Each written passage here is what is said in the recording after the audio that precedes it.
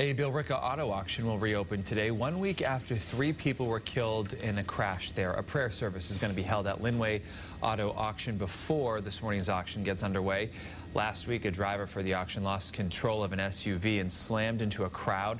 The company's president says it's installing barriers to keep vehicles in their lanes and hiring more police and fire details.